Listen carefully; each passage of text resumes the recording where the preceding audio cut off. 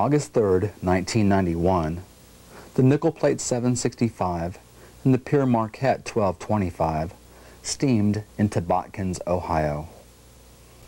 This was the second day of ferry moves for the 1225. On Friday, she had run from her home in Michigan as far as Toledo. And this morning's trip from Toledo had been plagued by the loss of her speedometer. It was late in the afternoon before she arrived in Lima, where she was to couple up with the 765. After watering and servicing 1225, the two Lima-built Berkshires steamed south from Lima as dusk approached. Off to the west, the distant rumblings of thunder and streaks of lightning pierced the evening sky. Before the 765 and 1225 reached their evening's destination of Cincinnati, they would be caught up in this late summer storm.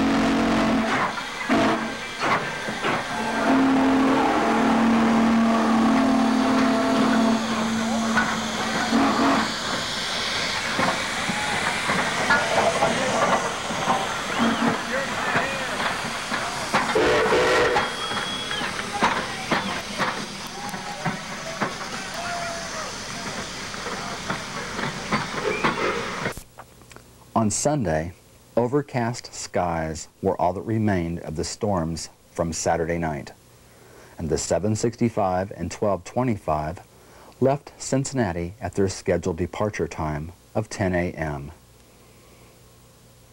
After crossing the Ohio River from Cincinnati to Covington, the train was crossed over to the old C&O Main and took the High Iron to Huntington.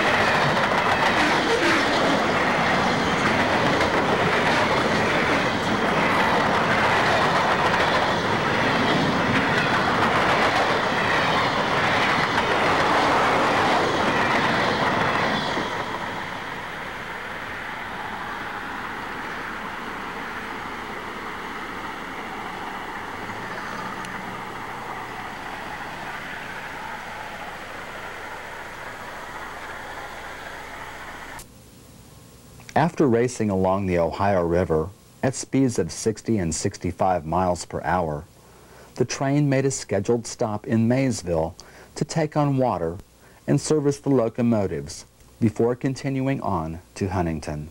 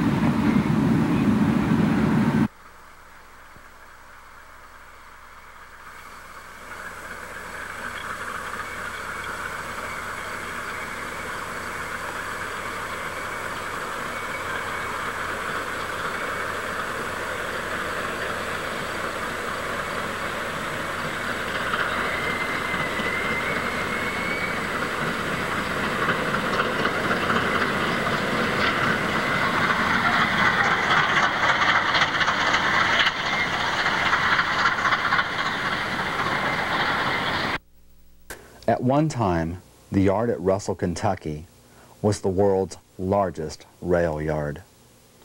In its day, there was a freight classification yard and car shops, as well as a yard with over 40 tracks just for the classification of coal.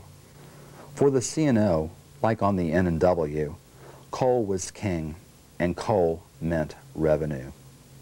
But now, in the days of unit trains, which are classified at the mines for the most part, operations at Russell have been scaled back. And Russell is the next scheduled stop for the 765 and 1225.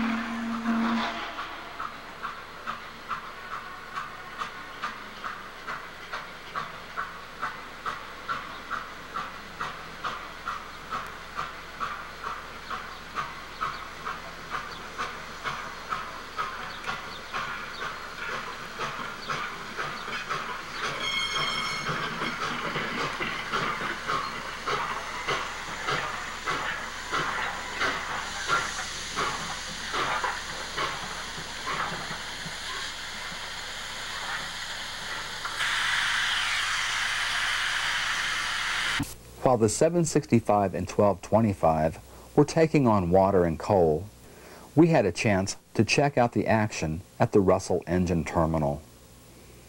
Included in the equipment around the engine terminal was an elusive BQ-23-7, number 3008, one of seven BQs built and probably the predecessor to the modern-day wide cab.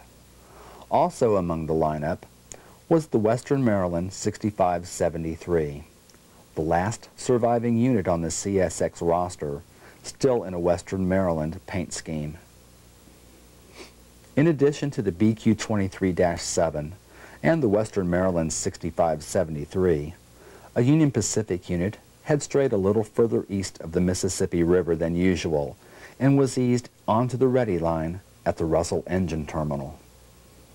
After our tour of the Russell Engine Terminal, it was time to rejoin the 765 and the 1225 as the train eased out onto the main line to cover the last few miles to Huntington.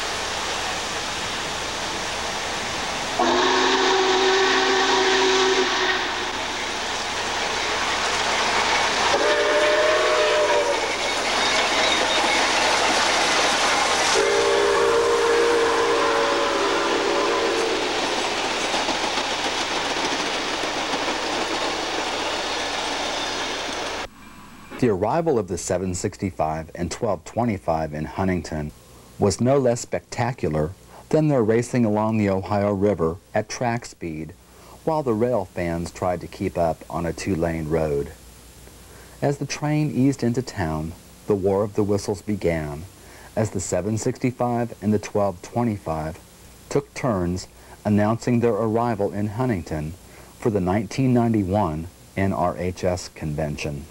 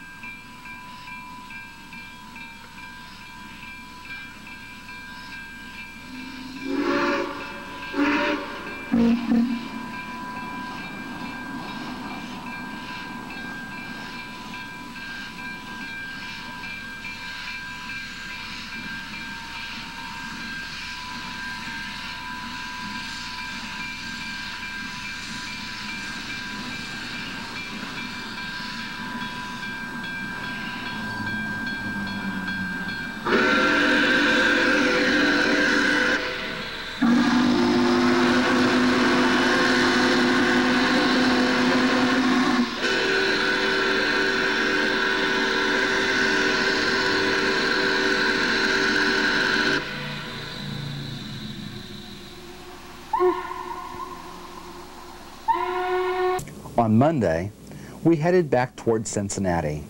As we crossed the Ohio River, our focus switched from C&O CSX to the N&W and the 1218 on a ferry move between Cincinnati and Portsmouth over the old Scioto division. The run to Portsmouth would be a little less spectacular than the Sunday doubleheader to Huntington. But traffic along the division is down to about six trains per day and track speeds have been reduced to 35 miles an hour or less along most of the line. We're about 60 miles from Portsmouth, so let's see if we can catch some of the action with 1218 and her short consist.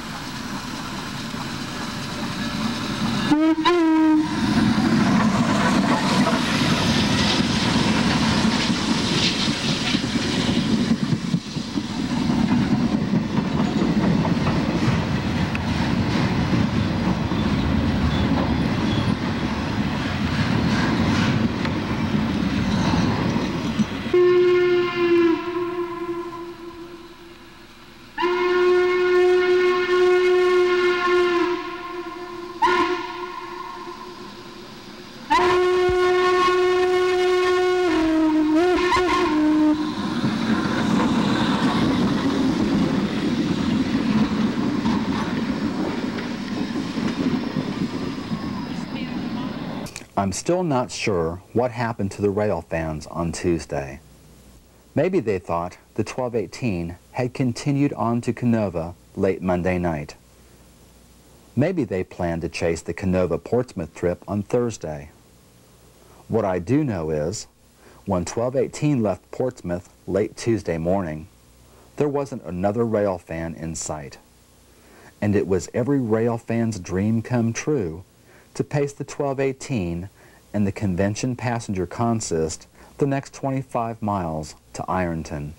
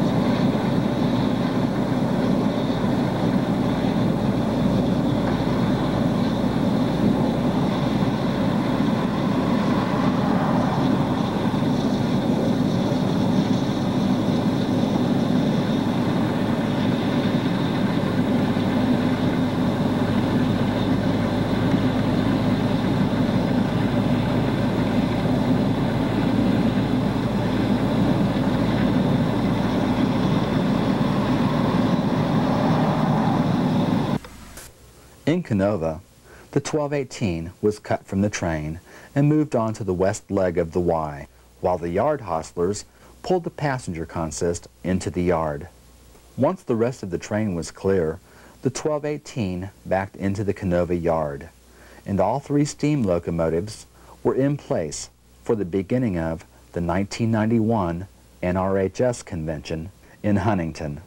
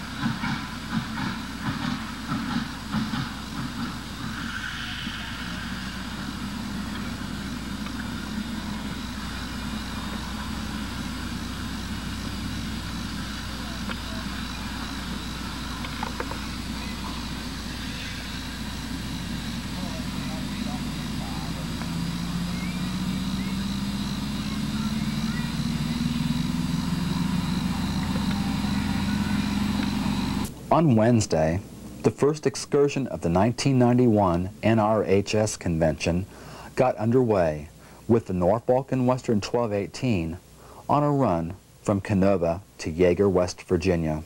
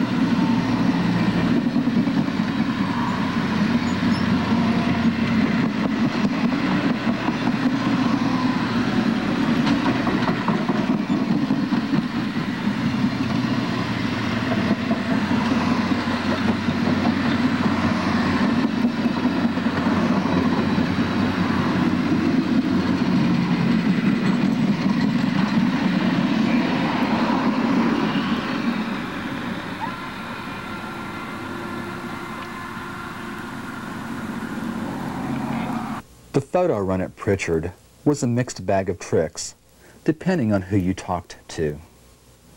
If you were a chaser, you absolutely loved it. A very nostalgic location. The sun was perfect, and lots of angles to shoot from. If you were a passenger, on the other hand, well, the comments we got ran like this. The same spot they use on every trip. We were crammed along the line like a bunch of sardines. There was no photo line. And how do they expect us to get a good picture shooting straight into the sun? But with all the controversy aside, here is our shot of the photo run at Pritchard.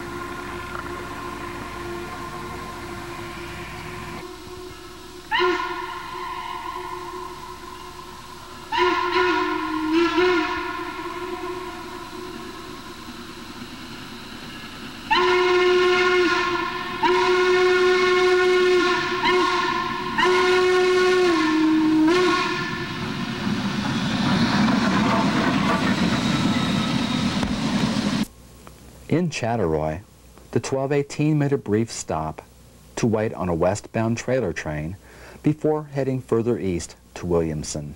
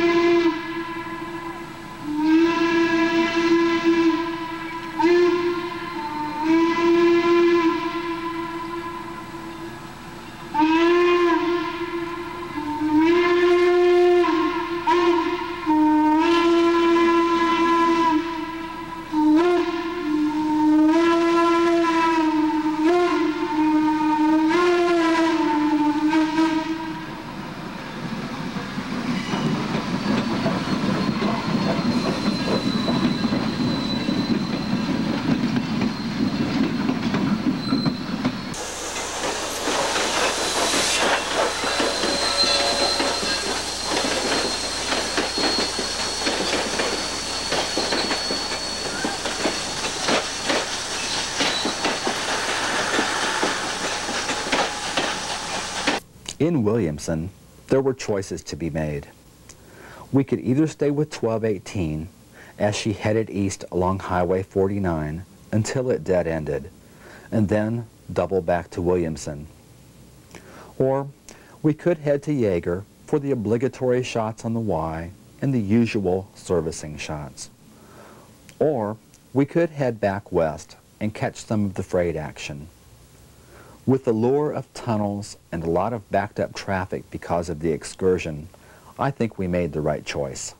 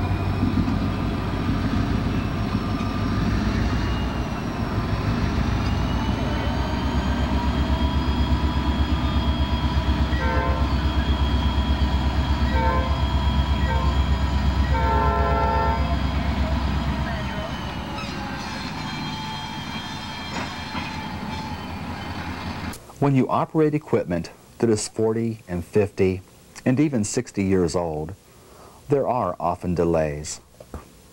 So it was no surprise that it was after 6.30 p.m. before the 1218 steamed through Naugatuck with more than 80 miles to go for a scheduled arrival in Kenova at 8.30.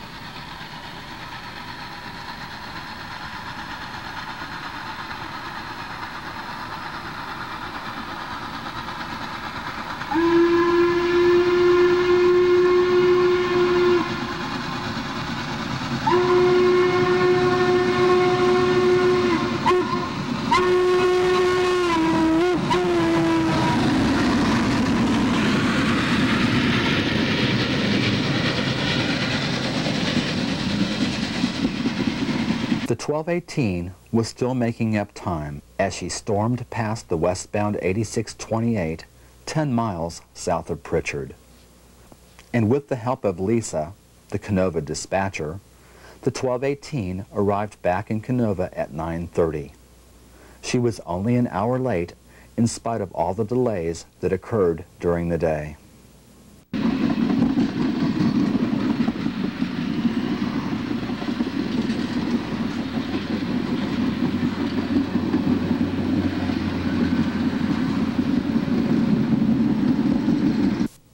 On Thursday morning, Lisa was back on duty at the Kenova Tower as the 1218 crossed the Ohio River and began a short 40-mile run to Portsmouth.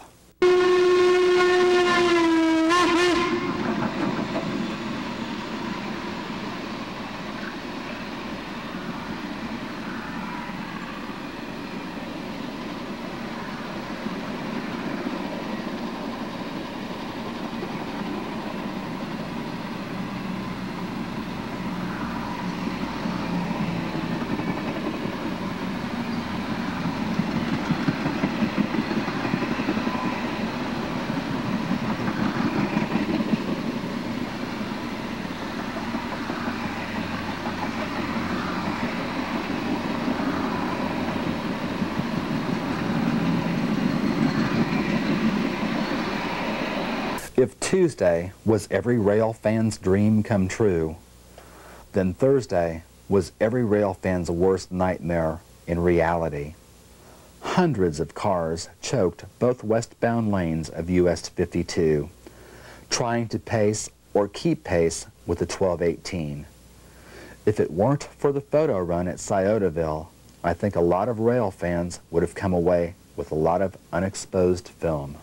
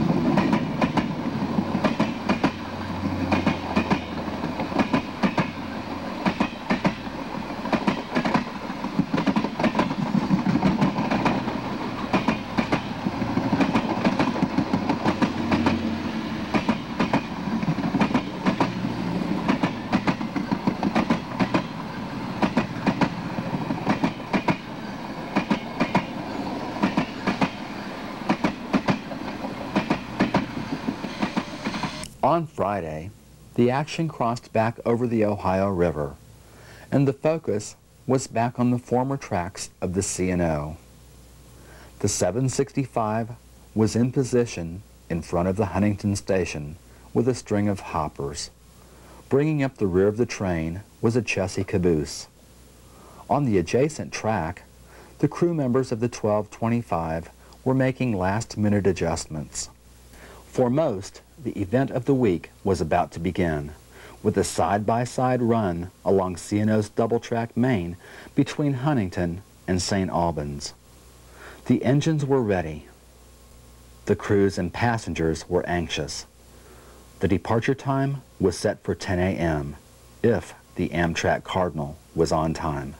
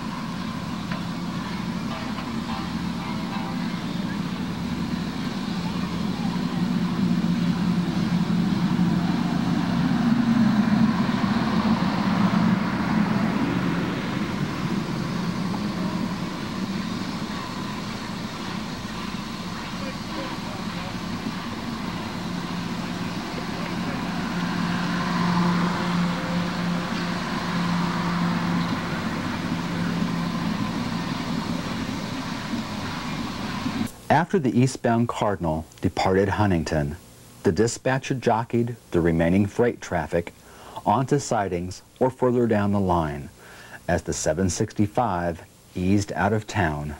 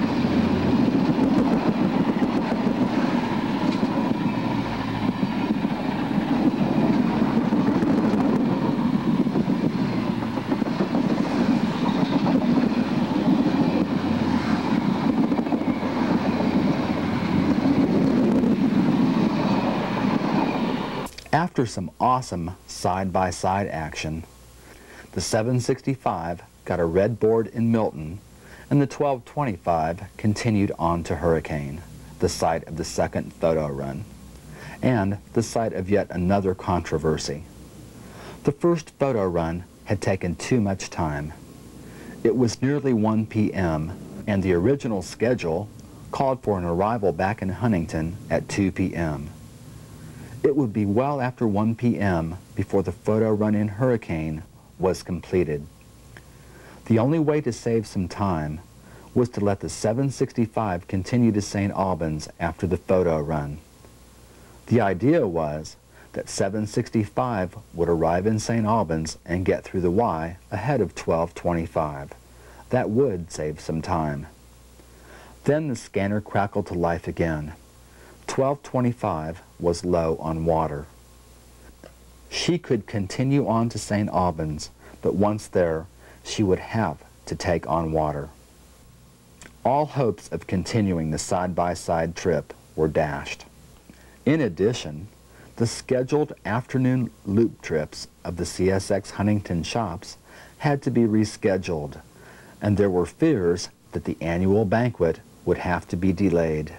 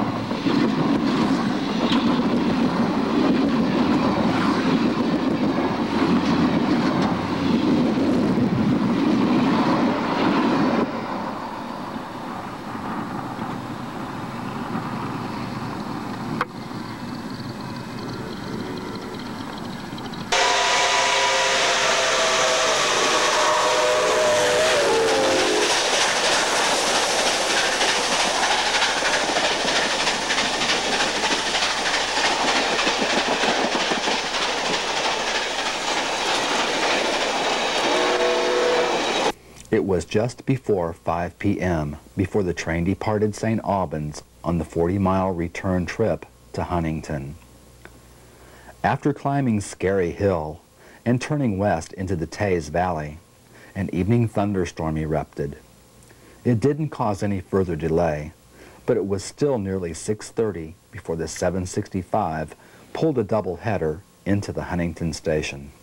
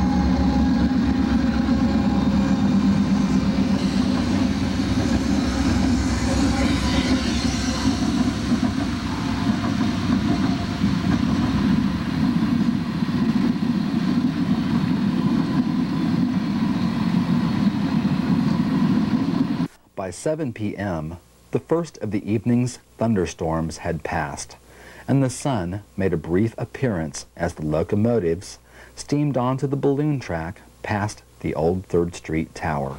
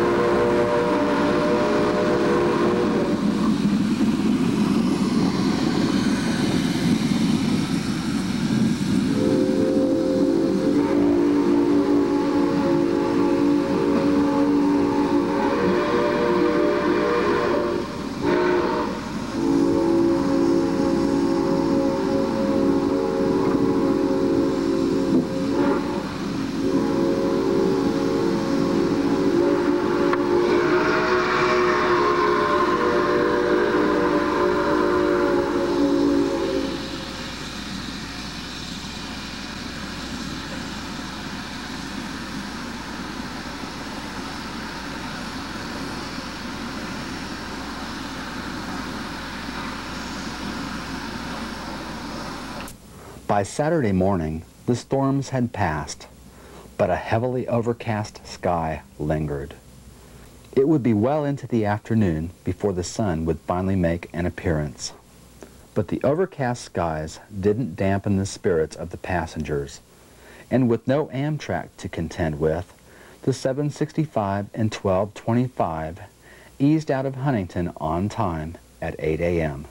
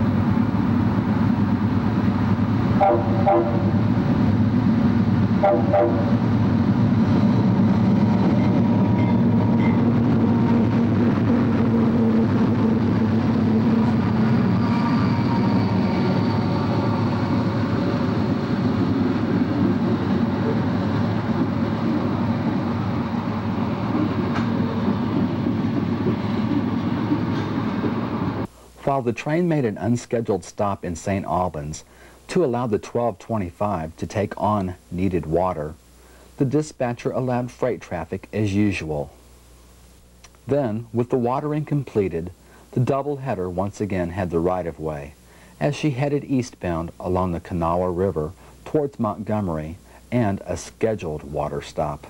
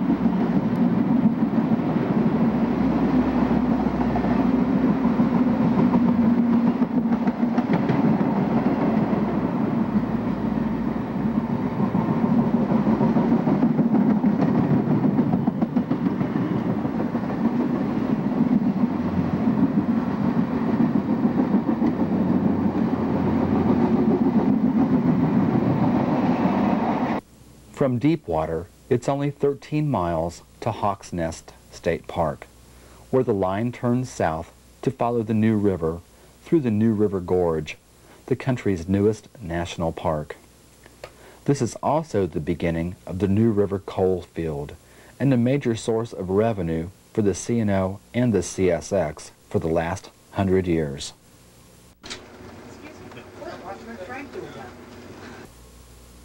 The photo run in Thurmond was sort of an unusual sight. The 765 was just unable to gain her footing. She slipped every couple hundred feet along the slick rail, which gave the 1225 an opportunity to show off as she masterfully guided the train through the photo run.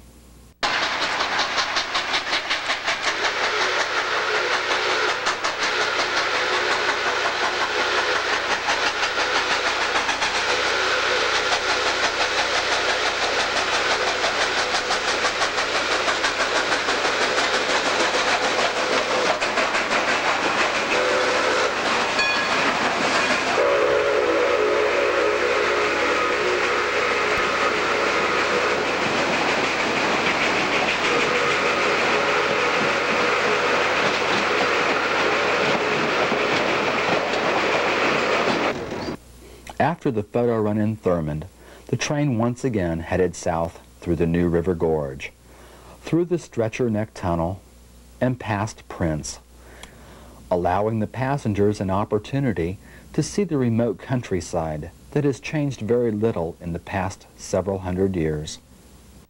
I know, uh, the last time, there were three cars, one just, two others, they were all different. The one, the the one for Milwaukee was a heritage lot, if it does.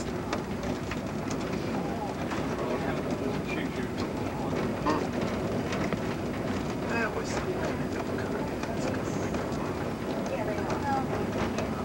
we stayed the one night. The next morning, took the train. That hotel was full. I can walk look around, the station hotel was At Meadow Creek, the 765 and 1225 were cut from the train and started through the Y that forms a junction with the Nicholas, Fayette, and Greenbrier Railroad.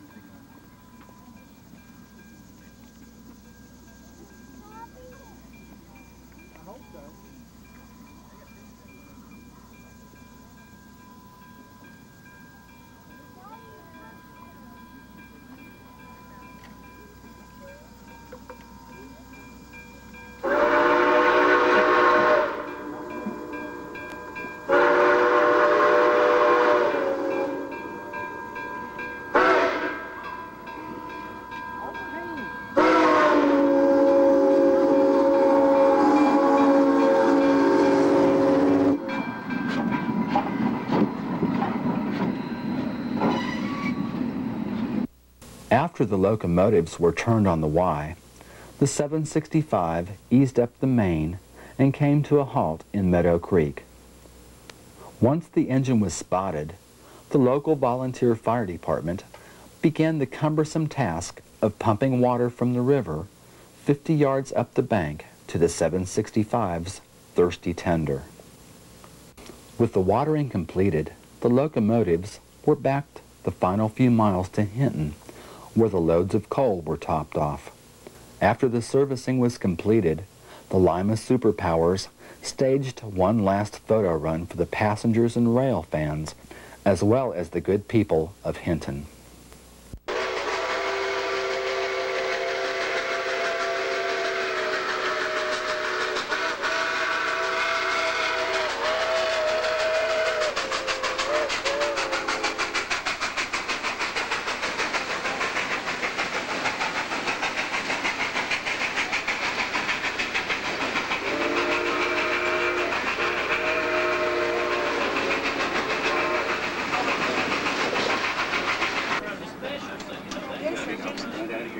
Oh, I mean, that's okay. I never know what was going to Not only this, you got to set up like quiet, there can doesn't track all day. They thought, no, they would, might be able to roll up and But they're making money. The way Trump, guys, guys that took the buyout last year, the year before, this year, they did four, I think it was some, some dropped on them.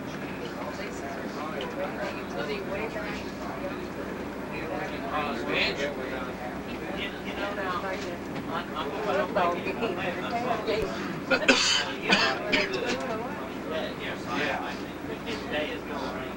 As a postscript, the 765 and 1225 departed Hinton around 7 p.m. and would not arrive back in Huntington until 1.30 a.m. As we said before, when operating equipment 50 and 60 years old, delays are to be expected. But I don't think any of the passengers were quite prepared for some of the delays in Huntington, especially those holding tickets for other events, like the riverboat ride and the dinner theater. Fortunately, the shop tours were rescheduled for Sunday. And for those with more flexible plans, it was a chance to ride behind the Western Maryland 6573. But for those of us who had to depart on time, it was something to read about in Railfan. We hope you enjoyed our coverage of the 1991 NRHS convention and the trains that took the high iron to Huntington. Thanks for joining us.